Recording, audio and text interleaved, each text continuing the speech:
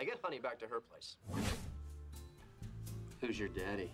Okay, can we skip this part, please? Sure. I'll, I'll just summarize it.